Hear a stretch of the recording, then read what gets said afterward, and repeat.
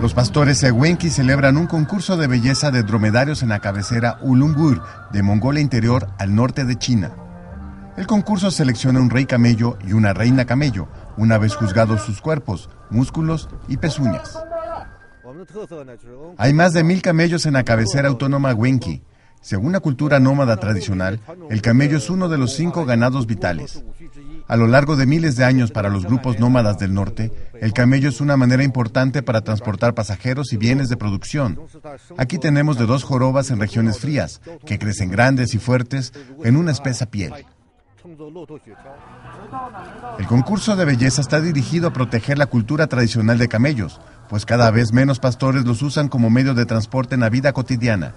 Los dromedarios están bajo protección en segundo grado a nivel estatal en China.